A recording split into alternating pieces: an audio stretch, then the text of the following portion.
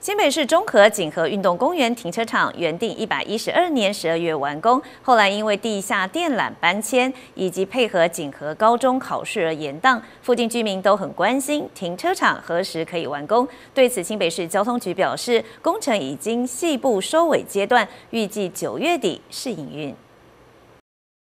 运动场尚未开放，已经有学生等不及来打棒球。这里是新北市中和锦和运动公园，地面结合地下停车场工程，一百一十一年初举行开工典礼，历经两年半的时间，完工启用倒数计时。综合运锦和运动公园地下停车场的部分，我们已经在五月已经报竣完工。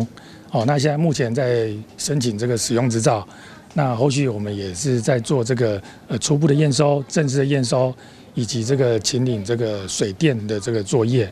哦，那我们预计就是在九月哦中下旬，哦九月底前，我们来做这个呃试营运跟正式的这个启用的这个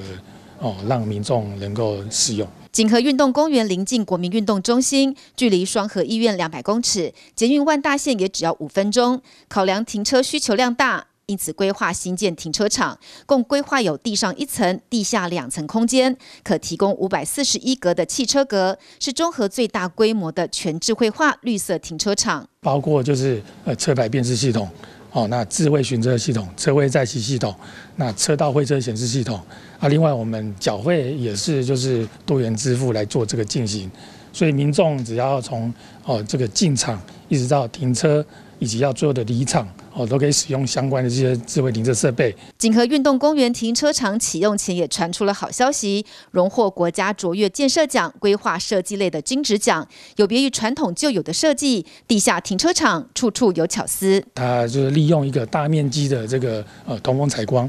哦，那自然的引进阳光空气，然后还有这个绿景的部分。哦，让停车场内一个自动的产生一个自动的对流。平面停车场的部分则打破以前的封闭感，将停车场公园化，开拓多条路径，将运动场跟景和路串联起来。完工以后的全新样貌，值得期待。